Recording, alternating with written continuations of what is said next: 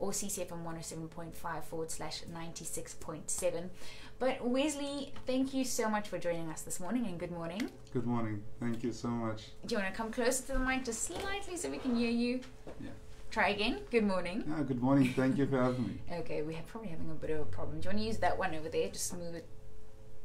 Good morning and There thank you we for having me. go. That's the man. it's very good to have you with us this morning. So, Wesley Moodley, let us know where did it all begin for you? What has God been doing in your life ever since? Yeah, it's totally, totally awesome. Uh, my journey is, is one of uh, very interesting, if I may say. But God has been good, and you know, before before I start, you know, I just want to say, you know, to God be all the glory for for the great things that He's done. Yeah, my journey is is is, is very, very, very interesting. Like I said, um, hence my surname uh, Moodley.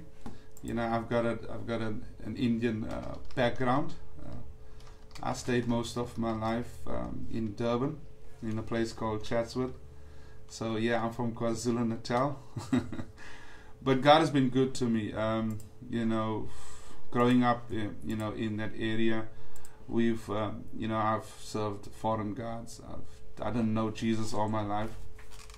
Um, So, so what was that like for you? You know, what was what was your experience with with God or, or the or divinity? You know, what was your Yeah. understanding of that growing up? the the understanding is you know when you grow up in that situation uh, in that environment uh, there's a lot of gods that you serve um, you know a lot of gods were different purposes and uh, different needs that cater for different needs so that's why you have you know almost a thousand if not more gods different gods so um, you know you got a god of wisdom a god of understanding a god of love a god of whatever the case may be you got a different god that uh, serves a different purpose. Um, but you know, ultimately, um, you know, even in that circumstances, in that situation, uh, you, I always had the understanding that there is a, there is a bigger God. Sure. You know, How did you know that? well, we, we, we, my situation was quite uh, peculiar because my mother married into into the family. You know, uh, my, my my father was Indian and my mother was from Cape Town. Okay.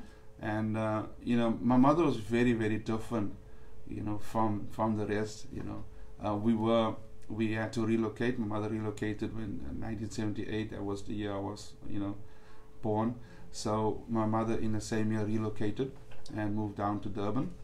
And then yes but i always knew that there was something different about her. You know i watched her Wow. you know and and it's something we take for granted you know when people we think that people don't look at us people don't notice us and people watch us and so forth. So i've been watching her and looking at her um, there's certain things that she done you know that she didn't have to do and certain things that she did you know and so forth. So i always watched her and looked at her and, and i knew okay okay she read the bible when she didn't have to. It wasn't she wasn't supposed to read the bible. You know she did certain things to please my father mm-hmm. you know but she always you know went down on her knee and she was always praying and so on. So your mom was a Christian? Yes. And your dad was he was a t- hindu. Hindu, yes okay. Tamil, yeah. So yeah we we had that type of background that type of upbringing so you know uh, from there you know I, I think when my father passed away yes we relocated and we came back to cape town And how old were you at that stage? I was around 12 when I lost my father. I think 13, uh, 13 onwards, um, 13 or 14 years, we came back to Cape Town. Um, yes, and then uh, I remember um, when when I had to go to, to school, to, to high school. So we relocated for that year, I think. Uh, and that year, uh, you know, it was very tough for me. Um, it's a different ball game, a different setting. I had to make new friends and so forth and so on. So, you know, from the frying pan into the fire, as they say.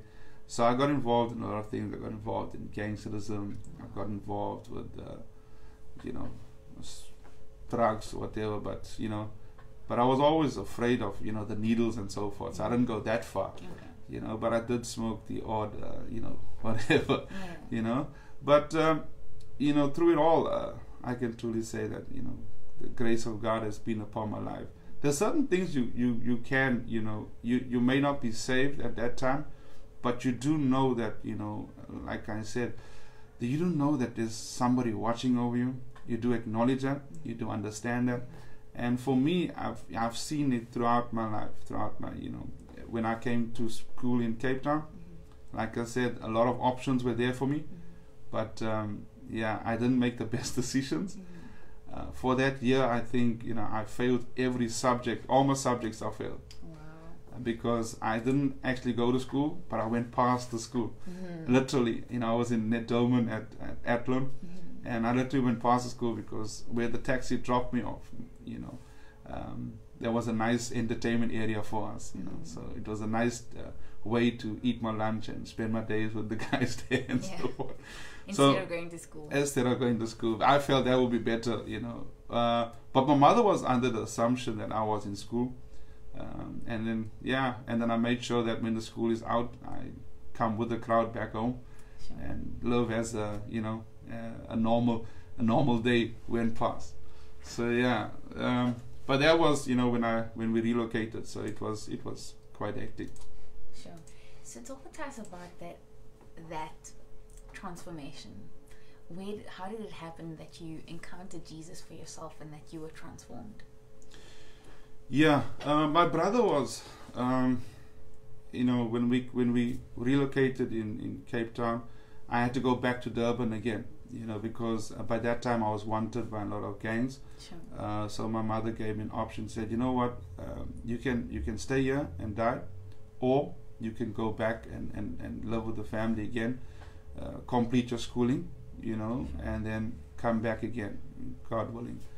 Uh, then I said, okay, you know what, if that's the case, I knew because at that time, you know, I, it was evident. You know, the guys were looking for me. I even had uh, friends in Durban telling me, you know what, you you you you wanted, so you you it that news has also reached us as well. Yeah. So, so that was a little bit of a scary. I wasn't that scared, but yeah, but you know, even the biggest of us say, you know, I'm not that scared, but you know, Yeah. deep down, you know, okay, let me let me see if I can make something happen. here. Yeah. So I went down to Durban, and um, I'd done what I was supposed to do. I even started new gangs there in Durban at schools.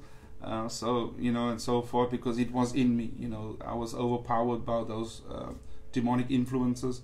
Um, they led me, you know, to to initiate gangs in in and around uh, Durban um, at the school where I was.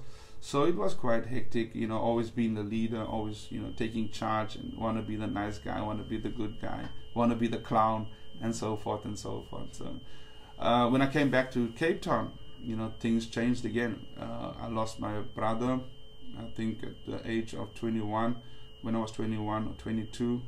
Yes, I lost my brother. Um, and then I lost my grandfather, yes. And then I realized that, you know, life is very short. You know, in that split second, I got to think about life. I got to think about my brother who, who lost his, his life. He was killed in Khayelitsha. Um, at that point, you know, I wanted to take, you know, my my gun, you know, just go around shooting some people, Yeah. just so I can feel better about it, you know. Uh, blood in, blood out, you know. I lost some of my, I lost my blood, so I'm gonna take back some other blood. So, you know, I was at that point, and and I and I really had to make a decision. You know, what do I want in life? Is this is this it? Is there something better? And I don't know how to pray. At that time, I didn't know what to do at that time.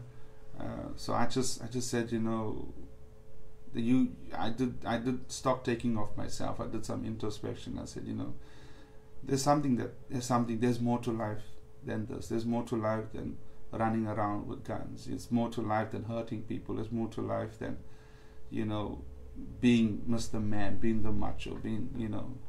So we had a normal church service at my at my house, you know, because my my grandfather passed away, and you know the the the message went out, you know, and the invitation was made, and I responded upon that invitation, you know, because normally, you know, for, for a young man who's got it all, you know, who's got the friends, who's got money, who's got everything, we don't we don't normally go to church. We don't want to be to church, and especially churches that want to condemn, criticize, and judge. we would avoid those type of things. Mm. But on this particular day, it was it, it affected me. You know, it was my family, so I had to uh, pay my respects and be at that service, and and yeah, that was it. And from there, I never looked back. Wow. So that was re- literally that moment changed your entire life. Amen. Amen. Man. And then just kind of, we don't have much time, but I'm just interested to know, journeying on from that moment. Yeah. You know, what was what, what was some of that that journey? What did some of that journey look like in terms of you discovering God and really transforming, going from some someone being wanted, like Yeah. you were a wanted Yes, man by yeah. many gangs, to actually being a Christ follower. Yeah, uh, my my journey henceforth has been very very interested, um, very interesting, should I say? Um, I've been, f- you know, I've journeyed from being wanted by gangs now to being wanted by by many NGOs to be a part of and to Mhm. work with. Um, I'm very very much now, you know, want to give back to community, want to give back to society because when when when I look at the youth and I look at um, you know our community at, at, at large, th- we're looking at people that, that want to make a difference and and I really thought you know what I, I have something to add I have something to give back and that's why I'm always in, in, in Bishop Lavis I'm always wanting to give back and see how we can make a difference not only in the young but whoever Yeah. you know so you know as a result you know we've we've I've involved myself now um, you know I'm the secretary of the Bishop Lavis Religious Leaders Forum Mhm. um, I'm also part of the CPF you know the Community Policing Forum where I get to sit in in, in various meetings as well uh, I have an executive seat at the uh, Bishop Lavis Development Forum uh, and so on so on the list goes on but it's not just to occupy a seat. You know, you can occupy a seat and, and mean absolutely nothing. Or you can occupy a seat, you know, and bring that experience, you know, and, and share with with them and see how can we make a difference uh, without you benefiting. You know, without without me benefiting, without uh, Wesley Moodley being the center point of it all. But through it all, you know, even though we sit at those tables with uh, some people who do not believe, how can we make a difference and cause them to believe? Sure. You know, give them an opportunity. You know, they might not believe in Christ, but they might see Jesus Christ through us. So that's my that's my cause for for what I do and why I do it. You know, I can always represent Jesus Christ. I know where I'm coming from. You know, and I don't want anybody to go down that road. You know, so yeah. Man, Wesley, thank you so much for sharing. I'm so grateful that Jesus saved you Amen. and that He, you know, opened your eyes to say, Wesley, I gave myself for you so that you don't Praise have to God. live this kind of life. And I'm just so reminded of people who may be struggling with family members, maybe people who are listening to this right now, Amen. and they're maybe wanted by gangs, Yeah. and maybe they're you know stuck in a lifestyle that has caused them much detriment or you know much distraction and has been to their detriment and to their family's detriment so wesley would you please pray for those people and pray for the family members who are trusting god for transformation in maybe their, their own lives or their families lives Amen. Father God, I thank you for this opportunity. My God, it's, it's a beautiful day, a beautiful opportunity for us to glorify your name and your name alone. Because there's no other name, Father God. There's no other place we can run to, Father God. But the Bible encourages me this morning that the name of the Lord is a strong tower, and the righteous run into it, and they are safe. Father, I pray for families this day. Amen. I pray, God Almighty, for parents this day. Amen. We've we've been blessed, Father God, Amen, with the story that came out about Ellen Pakkies. And we look at all these influences and these demonic influences that want to bind us, Father God. But I pray, God Almighty, for supernatural strength, amen, to come upon each and every one of us. Father God, we release the anointing of, of our Lord and our Savior that can break every chain. Father, there's hope out there, my God. And we as believers just have to continue believing, Father God, that you will never leave us, nor would you forsake us. My God, you've instated and you've put in place, Father God, beautiful people who can help and who can make a difference. And my plight is, my God, amen, that we as parents will not give up on our children. And we as children, Father God, even though we ventured off the road, even though we veered off the road, we know that there's still hope. There's always hope that we can come back. I pray, God Almighty, that you bless them. Each and every one that's listening now, each and every parent that may seem that's the end of the road. Father God, amen. It ain't over till you say it's over, my God. And I thank you, Father God, amen, for CCFM. I thank you, God, for the partners, hallelujah, that you would continue to bless them, that they will always be in a position, amen, to help these type of families that find themselves in, in places or in situations that seem impossible. I, I pray, God Almighty, hallelujah, that, you know, sometimes we as parents, we may seem there's no hope. But like my mother that continued praying for me, she never gave up. And I pray, God Almighty, that we as parents never write our children off. There's always hope. We serve a God who can make the impossible possible if we only dare to believe. So I challenge uh, each and every parent to continue, continue praying for the children. Never give up because with Jesus, all things are possible. Amen. Awesome. Wesley Moodley, thank you so much for sharing this morning. Thank you. God bless you.